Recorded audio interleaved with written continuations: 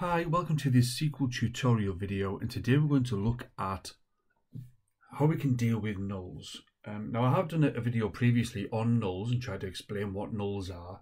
Um, I'll put a link to that video in the description of this one.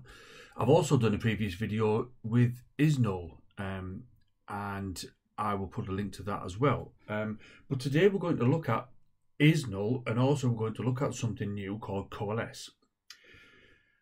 Um, in this video, I'm going to assume you know kind of what a null is. Um, and if you don't, like I said, I'll, I'll, put a link to that other video uh, in the description of this. It, it's worth having a look at.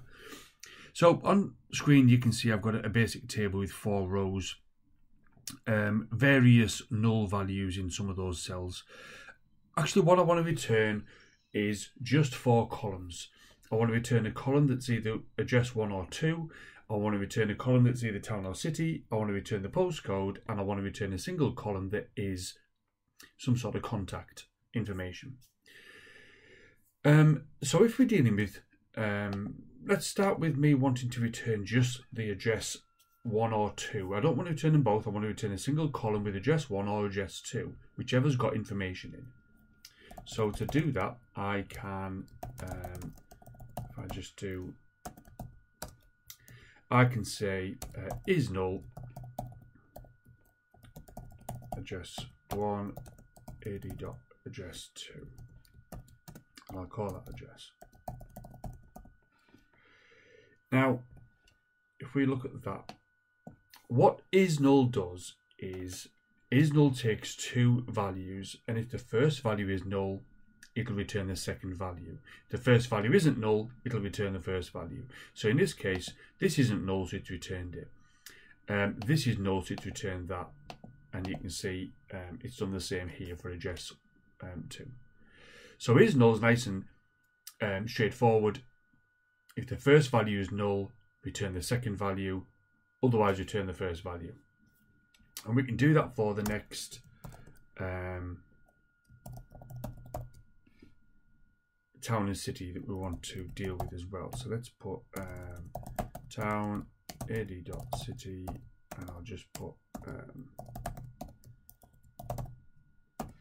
and now if I run that we now get um, a town or city regardless of where this this state is held it'll return um, the first non-null value between those two.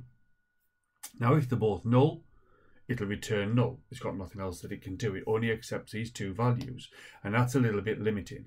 So let me just add a third value here for our postcode. Oops, I don't want to do that. It's just, um, honestly, if I could type postcode.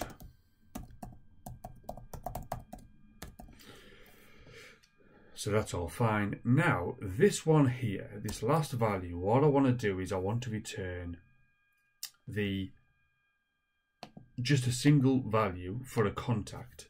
But I want to return um, the phone if it's there. Otherwise, I want to return the email if it's there. Otherwise, I want to return the contact.